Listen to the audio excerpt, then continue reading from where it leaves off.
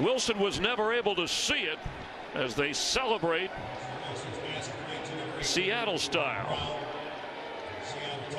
Well, what a what a tremendous job by Russell Wilson standing in the face